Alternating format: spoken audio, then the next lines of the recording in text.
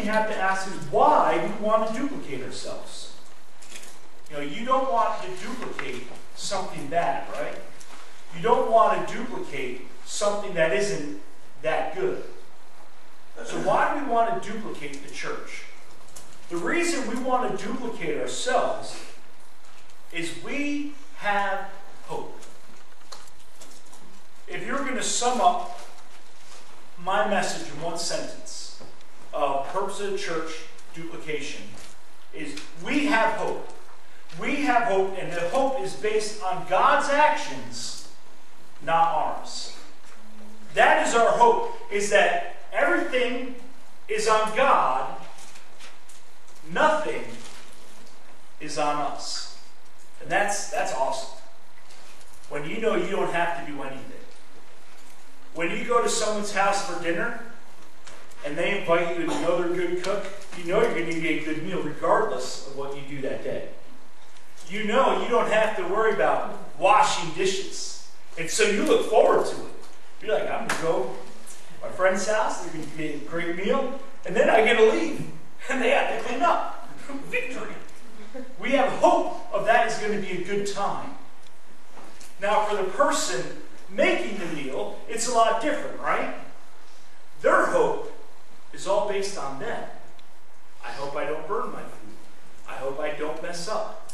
My mom, I love my mom, and she loves to bake cookies. She makes the best chocolate chip cookies.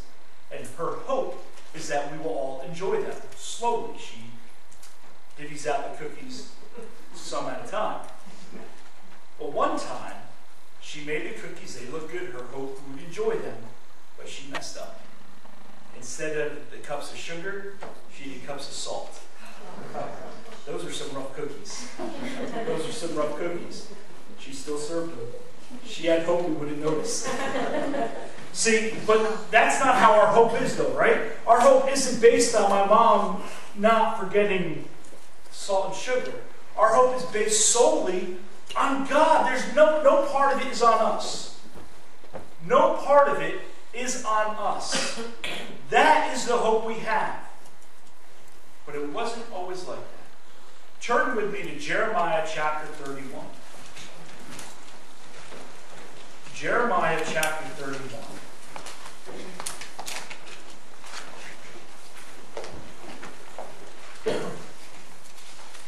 Why is this such an amazing relationship that is all based on God and nothing reason this is so revolutionary is at one time it was all based on our actions plus God's actions. If we wanted to have a good relationship with God at one time, it was based on man and God. God, knowing that we would fail, said, I'm going to do something different. So, Jeremiah chapter 31, we're going to start in verse 31, and we're going to go all the way to 37. So, Jeremiah chapter 31, verse 31. Behold, the days are coming, says the Lord, when I will make a new covenant with the house of Israel and with the house of Judah not according to the covenant that I made with their fathers in the day that I took them by the hand and led them out of the land of Egypt. My covenant which they broke, though I was a husband to them, says the Lord. But this is the covenant that I will make with the house of Israel. After those days, says the Lord, I will put my law in their minds and write it on their hearts, and I will I will be their God, and they will be my people. No more shall every man teach his neighbor and every man his brother, saying, Know the Lord, for they shall all know me, from the least of them to the greatest of them, says the Lord. For I will forgive their iniquity, and their sin I will remember no more. Thus says the Lord, who gives the sun for a light by day, the ordinances of the moon and the stars for a light by night, who disturbs the seas and its waves roar. The Lord of hosts is his name. If those ordinances depart from me, says the Lord, then the seed of Israel shall also cease from being a nation before me forever. Thus says the Lord, if the heaven above can be measured, and the foundations of the earth searched out beneath, I will also cast off all the seed of Israel for all they have done, says the Lord. Let's pray. Father God, as we open up your word, I pray that you give me clarity of thought and mind to be able to portray your word clearly and effectively. I pray that we open our hearts and minds to what your word has to say, that you clear our minds from distractions, from things that do not pertain to right now, and that you, we hear what you have to say. Amen. We're talking about Israel. I want to be very clear, very, very clear. We are not Israel. I am not an Israeli. When I lived in Israel, I had a passport saying I was an American. Everywhere I went, I had to carry this passport. And when I forgot it, when I went to the airport to pick up some friends, a guy with an M16 shoved it in my face, and I had to get out of the van. I put my hands up, and I was frisked. And with a gun to my back, he asked me questions about where's my passport. I was a fool. I am not an Israeli. When I traveled in Israel, I had to carry my credentials saying I was allowed to be there as an American. There's no one here, to my knowledge, that's an Israeli. We are not Jewish. This passage is written to the Israelites. But I'm going to show you how we're able to share this. lesson. So when I'm talking now, remember this is written to the Israelites, to the Jews but we're able to partake in their blessing. So, my first point is our relationship, the Jews' relationship with God. God is saying He's creating a new relationship. Verse 31 through 32 says, Days are coming, says Lord, when I will make a new covenant with the house of Israel. This is not the same as the law of Moses. The law of Moses has 613 different rules and regulations that they had to follow. Now, a lot of people, when you think about the law of Moses, we think of what? The Ten Commandments. All right? We always think about the Ten Commandments. Well, there's 603 other commandments that go along with it. And these commandments were very, very detailed. Detailed to the point of almost absurdity. There's no way any human could ever follow all those commandments. It was impossible. It was impossible, and it was made that way. God made the covenant in such a way that people recognize that there's no way for man to get to God. He was pointing through the covenant of the law of Moses that they needed a Savior, they needed a Messiah. But then the old relationship, there were 613 laws. And Israel's failure is seen in verse 32. It says, uh, start verse 31. Behold, the new days are coming, says the Lord. I will make a new covenant with the house of Israel and the house of Judah, not according to the covenant I made with the fathers. And that covenant, again, law of Moses, you do this, I will, I will bless you. It says, I took them by the hand, they led them out of Egypt, and they rebelled against me, even though I was a faithful husband. See, Israel's failure is this that they broke the rules constantly. They constantly rebelled against God. And God never once turned his back on his people. Think about the failures that Israel had. So they're going to be led out of um, Egypt, and all of a sudden, what do they come up against? Pharaoh's army on one side, and the Red Sea on the others. And what did they say? Oh, God will help us. No, they said, oh, if we were slaves in Egypt, how better it would be for us. But now Moses led us to be drowned and slaughtered. What did God do? God did, okay, back to slavery. Let's go, folks. Line up. No, he put the pillar of fire between them and the armies of Pharaoh, spread the Red Sea so they walked on dry land to the other side. And as Pharaoh's armies crossed the Red Sea, the Red Sea folded in on them. And they killed, were killed. Then, after that miracle, they're in the desert and they're like, oh, we're so hungry. All we have is this amazing manna from heaven. If I could just eat some meat. So what did God do? Sent the meat. But what did Israel do then? Oh, we're so thirsty. If we were just slaves in Israel, in Egypt, so what did God do? Made water pour out of rocks. They get to the promised land. They don't go, well, God has been faithful to us up to this time. Let's go take it. Oh, if we were slaves in Egypt, we wouldn't be destroyed by giants. And so God gave back to slaves, right? No. He entered the promised land with them, and they became a nation of Israel. God has been faithful to them. And then, when they were a nation in Israel, what did they continually do? They kept turning to other gods. You have the whole book of Judges, where every seven years it seems like they once again were turning to false idols. And so God rained up like people like uh, Samson, like Jehu, the left-handed assassin, like Deborah. And they, these, these judges would bring Israel back to a relationship with God, and then they would turn. When things got good, they would turn again to false idols. Over and over and over again. And what did God do? He stayed with them constantly. And then they had kings. They said, God, we don't want you to be our ruler. We want a human ruler. And so God gave Israel human rulers. You have Saul. That didn't work out for them. They had David, who was a great king, and Solomon, who then turned to false gods. Then the nation split. And you have Israel, the ten tribes, who turned away from God instantly and never once had a good king. And then you had Judea, the southern two king, uh, tribes, that they had a couple good kings, but mainly turned their backs to God. Not once did God leave them, but Israel left them continually. Israel left God continually, turned their back on God all the time. But God, as a faithful husband, never once turned away from Israel. And God says, you know what? This old covenant, it doesn't work anymore. This old covenant of you and I having to work together, it doesn't work. So, you know what? I'm going to make a new covenant. I'm going to make something new. And so we have verses 33 and 34. It says, But this is a new covenant that I will make with the house of Israel.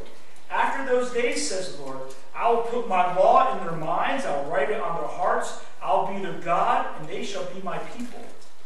No more shall every man teach his neighbor and every man his brother, saying, Know, know the Lord. They shall know me, from the least of them to the greatest of them, says the Lord. For I will forgive their iniquity, and their sin I'll remember no more. So, this is a completely revolutionary idea that Jeremiah is saying to the Israelites. Because up to then, up to this point, they had a responsibility that they had to do for their relationship with God. Turn with me to Deuteronomy chapter 11. Deuteronomy chapter 11.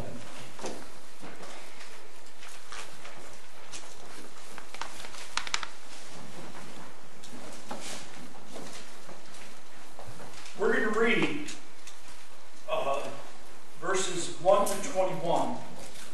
And it might be a little Deuteronomy isn't a, a very interesting book for most people. It's a lot of laws and regulations. But bear with me. I, I love the book of Deuteronomy because this shows us the need of a Messiah. And this shows us how we, as humans, can never do anything to get right with God apart from Jesus. So read with me Deuteronomy chapter 11, starting in verse 1. Therefore you shall love the Lord your God and keep his charge, his statutes, his judgments, his commandments always Know today that I do not speak with you, your children who have not known, who have not seen the chastising of the Lord your God, his greatness and his might, mighty hand, his outstretched arm, his signs, his acts which he did in the midst of Egypt to Pharaoh, the king of Egypt, and to all his land, that he did to the army of Egypt, to their horses and to the chariots, how he made the waters of the Red Sea overflow them as they pursued you, and how the Lord had destroyed them to this day what he did for you in the wilderness until you came to this place, and what he did to Dathan and Abiram, the sons of Eliab, the sons of Reuben, how the earth opened its mouth and swallowed them up, their household, their tents, their substances, was all in their possession in the midst of all Israel. But your eyes have seen every great act of the Lord, he, did, what she did.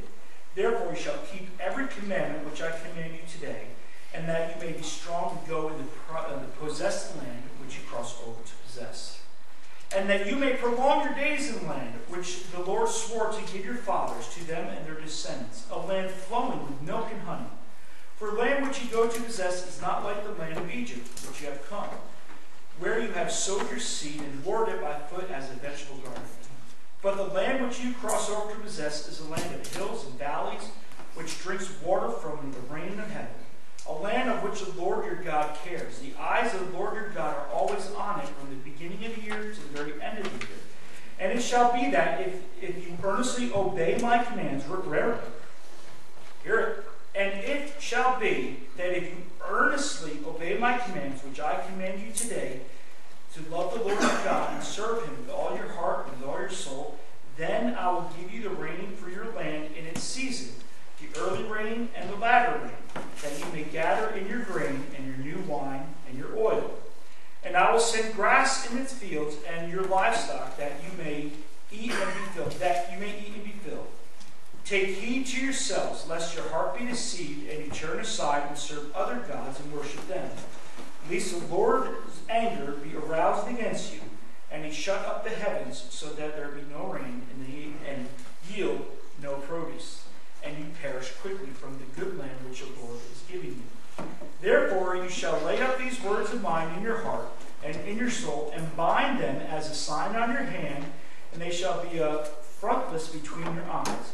You shall teach them to your children, speaking of them when you sit in your house, when you walk by the way, when you lie down, and you rise up. And you shall write them on your doorposts of your house and on your gates that your days and the days of your children may be multiplied in the land which the Lord swore to your fathers to give them, like the days of the heavens above the earth. That's a lot. But I wanted to read that to you because it kind of sums up the Old Covenant completely. What it's saying is the old covenant is based on actions. They were required to do things if they wanted the blessings of God. If they wanted the blessings of God, they had to have a relationship with God. It was a relationship that was taught. So the old covenant was based on actions. Israel's responsibilities in this covenant was they had to write the word of God in their hearts. They had to write it in their minds. And so observant Jews did this. They got phylacteries. What? Yeah, that's a fun word. You know what it was? You see this in the Hasidic Jewish community. They, are, they have these leather straps wrapped around their arm with a little box on the wrist. And then they had this strap with a little box right between their eyes. You also see them with their black uh, suits on, and then they have these white things hanging down. That is so they are constantly reminded that the Word of God is on their hearts and minds. So that when they're doing anything, there's a big box on their forehead. And there's a scripture written in that box. And the strap around their arm, there's verses right on their pulse. And you know what that does for them? Nothing. Makes them look kind of silly, to be honest. You, know, you walk into Jerusalem, you see a bunch of guys with boxes on their heads. Kind of funny to see. But they missed the point. They might have had the verses on their head, on their wrist, and they have mezuzahs, which is a little, basically a small scroll in a box on the doorpost. So every time they went in and out, they would kiss it to say that I love the Word of God. They did all this, but you know what they didn't do? They didn't have a relationship with God. They had the verse right here on their forehead, literally. They literally had it on their wrist. They literally had it on their doorposts. But you know what they didn't have it? A relationship with God in their heart. See, Israel was all about the outside actions, all about an outward relationship with God, but they missed the inward relationship of God. The new covenant that God is setting up, He says, I, I, the Lord God, the creator of the universe, I will write my law on your heart and in your mind. You will need to take the verses and put them on your house. Wrap them around your arm, wrist, and head. You won't need that. What you're going to have is it written by my hand on your heart. That's the new covenant. Now, remember, we're talking about Israel. All right? So I want you to turn to the New Testament right now and go to 2 Corinthians chapter 5. 2 Corinthians chapter 5. We're going to see how the new covenant is in place today in 2 Corinthians chapter 5. 2 Corinthians chapter 5 verse 17 says this. Therefore, if anyone is in Christ, he is a new creation. All things have passed away. Behold, all things have become new. We're talking about new creation. Our hearts are new. God has given those who believe in the Messiah, Christ is Ha HaMashiach, which is the Messiah, the one who's the new covenant in Jeremiah 31, the Messiah Christ, he has given us a new heart. And what is this heart? It's His Word. His law is written on our heart. So the new covenant is for today. Our hearts, those who believe in the Messiah, Christ, are given a heart with His law written on it. Go turn to Hebrews chapter 10, verse 5. Hebrews chapter 10, verse 5.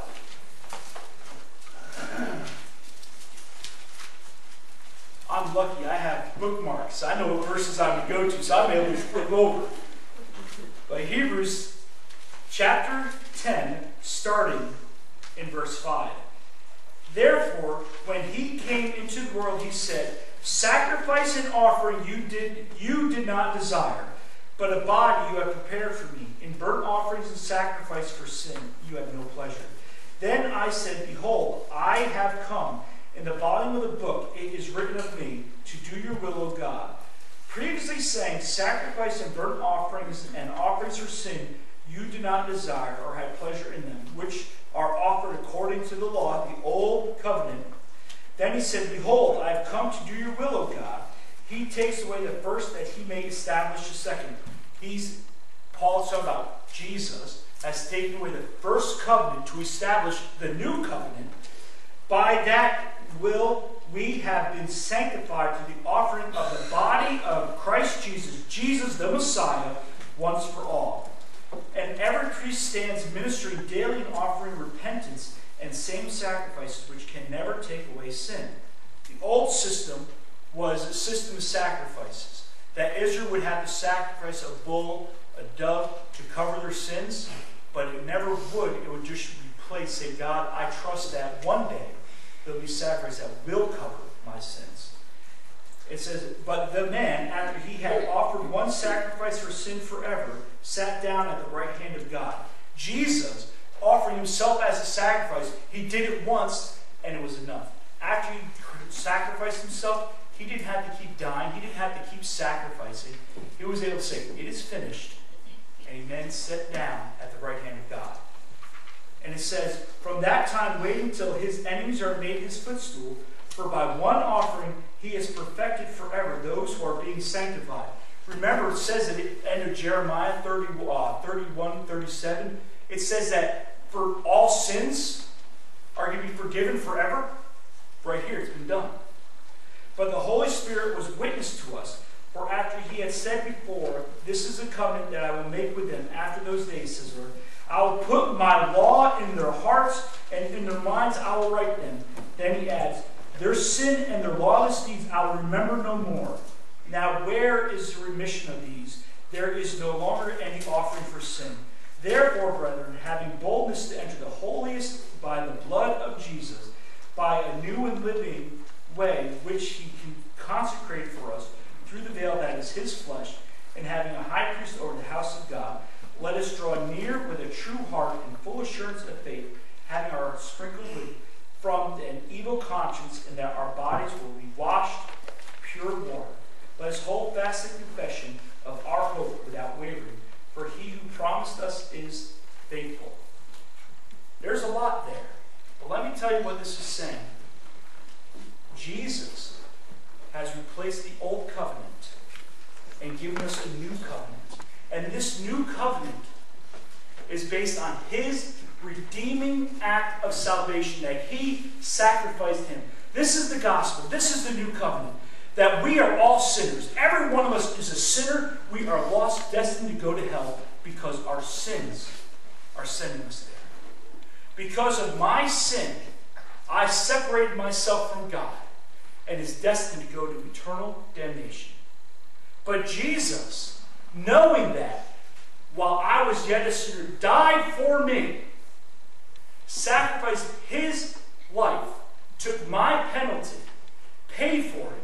Now my sins, if I accept that sacrifice, my sins are eternally forgiven. He remembers my sins no more. This is our hope. This is the joy. This is the new covenant. This is the hope. This is why we want to duplicate. Because there's people who do not have this hope. There are people, our neighbors, our friends, our relatives, that don't have this hope of forgiveness of sins. We have this hope. Israel was given this hope. This is the new covenant that Jeremiah is talking about. That Jesus died for our sins. That is the new covenant. That is exactly the new covenant. No ands, ifs, or buts. It doesn't matter how many times I turn my back to God. It doesn't matter how many times I mess up. God still forgave me. He's not taking it away. I can't do anything to lose my salvation because I've done nothing to gain my salvation. If you've done something to gain your salvation, if you were able to work your way into salvation, that means you'd be able to work yourself out of salvation. But this new covenant is all based on God. God saved my soul. So only God can reject my soul, but He can't reject my soul because the blood of Jesus is covering it. The new covenant is all based on God. He's going to write His word on our hearts and on our minds. The basis of this new covenant is faith. Is faith. The old covenant was all about actions. Turn with me to 1 Samuel chapter 3.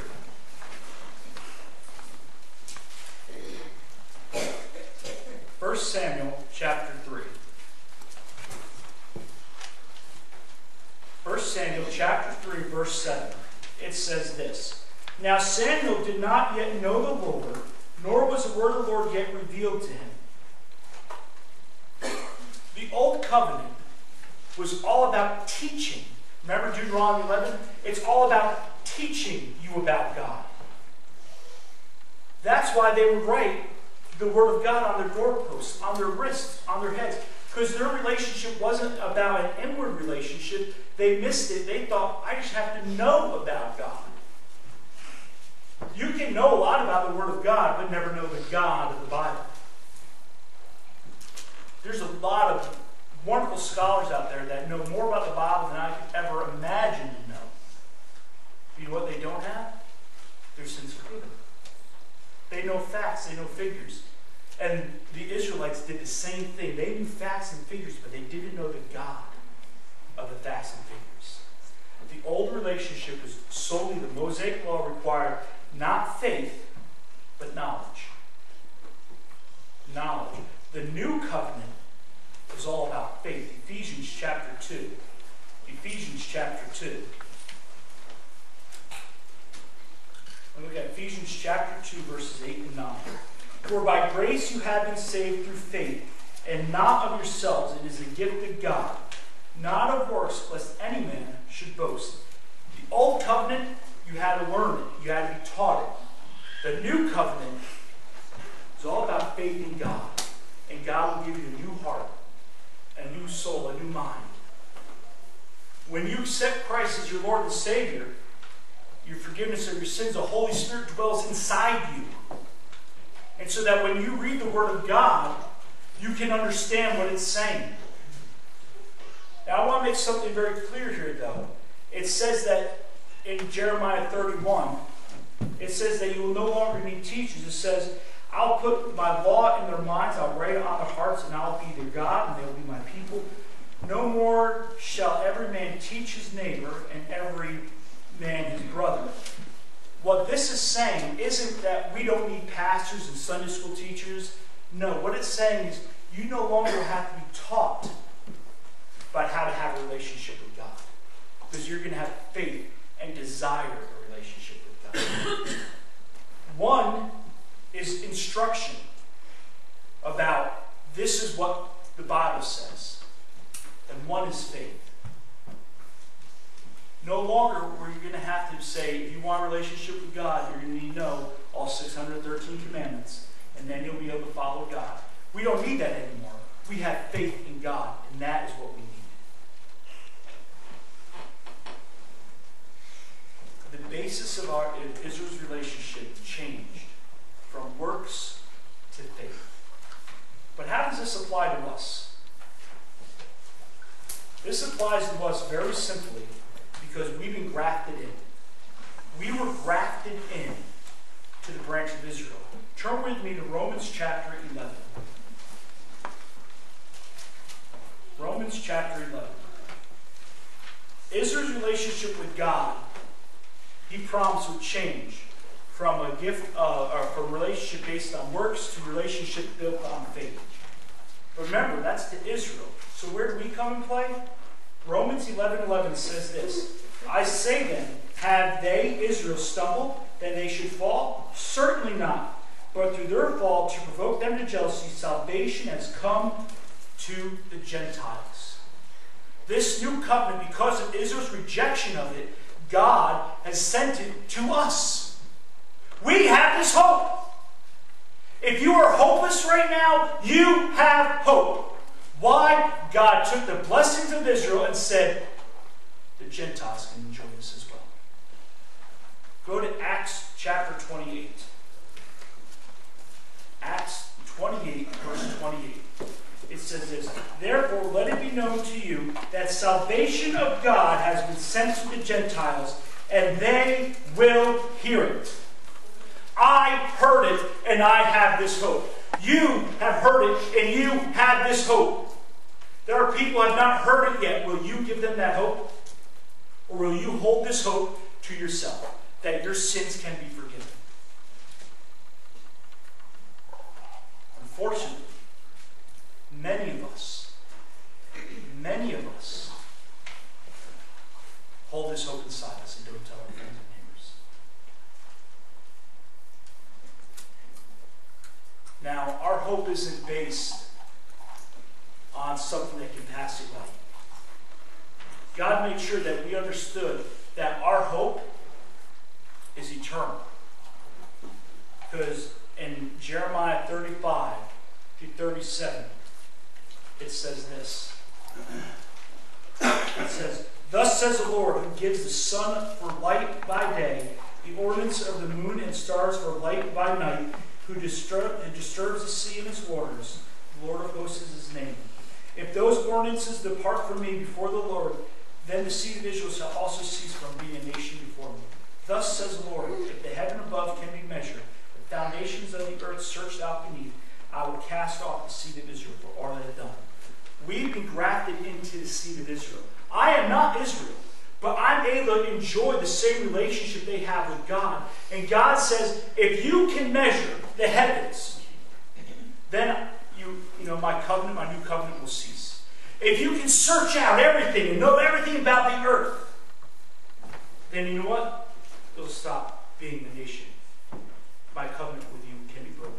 Those things are impossible. God said, It is impossible for me to break the new covenant.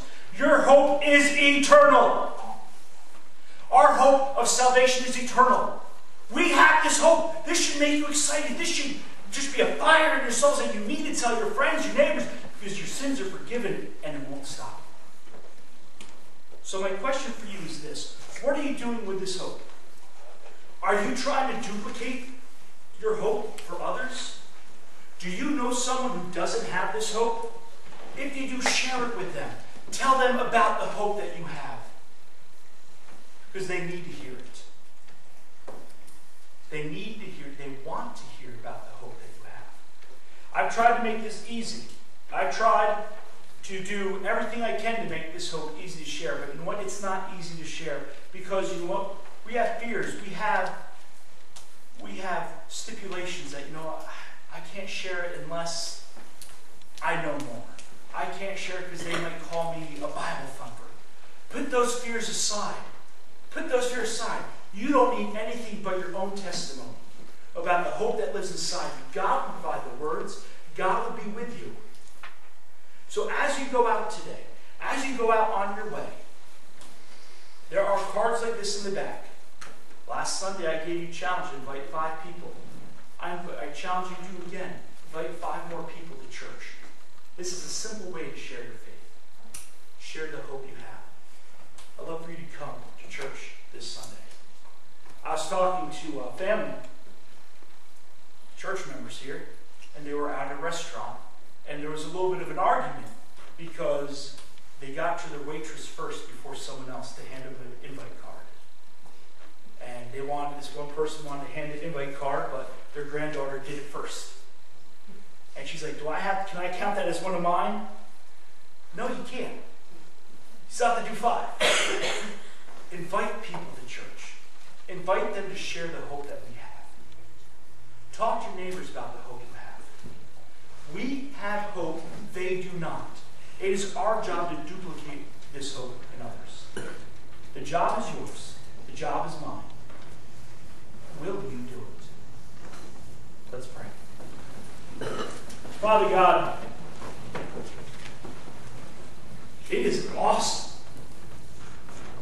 It is amazing that you have forgiven me. That you've taken away my sins for all eternity. That when you look upon me, you look upon me as a holy Son of God. That I have hope eternal. Help me never to forget that. And help me to be have the courage to share my hope with others. Amen. As Becky comes to lead us in song, if this is the first time you're hearing about the hope that you can have in Christ, that you never once accepted Christ as your Savior, I want to encourage you to come forward and talk to me. Let me show you how you can become a child of God. If you do have this hope in you, I challenge you to take some more invite cards, invite more people to church, and witness this someone. Share your faith with someone. Share the hope that you have.